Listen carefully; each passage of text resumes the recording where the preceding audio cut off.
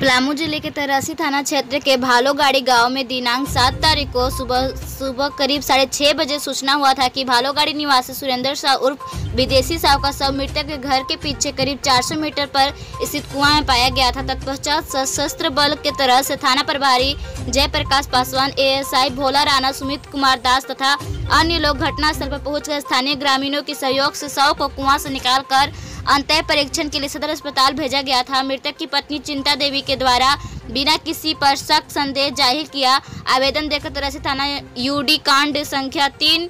2023 दर्ज कराया गया था। यूडी कांड दर्ज होने के उपरांत जाँच प्रारंभ कर दी गई थी। जाँच के क्रम में पता चला कि मृतक सुरेंद्र शाह उर्फ़ विदेशी शाह अपनी पत्नी एवं बेटी पूजा कुमारी के साथ शराब के नशे में मारपीट किया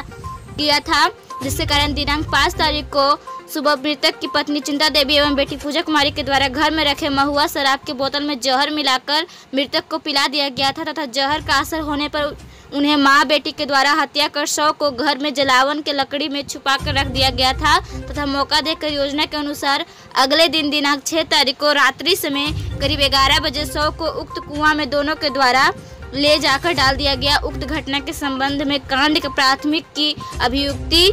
एक चिंता देवी पति सुरेंद्र शाह उर्फ़ विदेशी शाह दूसरा पूजा कुमारी पिता सुरेंद्र शाह, दोनों ग्राम भालोगाड़ी थाना तरसी जिला पलामू के विरुद्ध तरसी थाना कांड संख्या छः, सिक्सटी सेवन, दो हज़ार तेईस, दिनांक आठ तारीख को धारा तीन सौ दो के तहत दर्ज किया गया था तथा उक्त दोनों प्राथमिकी अभियुक्ति को न्यायिक हिरासत में भेज दिया गया। पुलिस मामले की छानबीन कर रही है।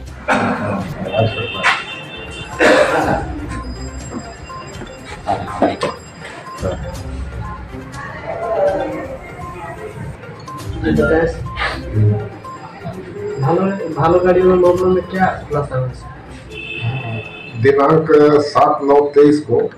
तरहसी थाना के भालूगाड़ी गाँव के कुएँ से एक सुरेंद्र साव का शव बरामद किया गया था, जिसे तरहसी थाना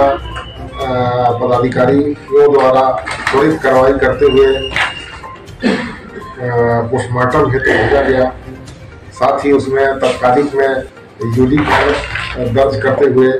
आगे कार्रवाई एवं जाँच की गई तो उसमें पता चला। जाँच में ये बात सामने आई कि मृतक की पत्नी चिंता देवी और पुत्री पूजा कुमारी उनके के द्वारा ये तत्कालिक जाँच में ये बात सामने आई कि उनके द्वारा ये मृतक को पूर्व में जहर खिलाकर और बाद में उसे कुएँ में डाल दिया गया था। तो ऐसा तत्कालिक जाँच से सामने आने पर वह केस, मर्डर केस में कन्वर्ट करके तरहसी थाना कांड संख्या सड़सठ तेईस अंकित करते हुए दोनों प्राथमिकी अभियुक्तों को न्यायिक हिरासत में भेजा जा रहा है। आगे अनुसंधान जारी। है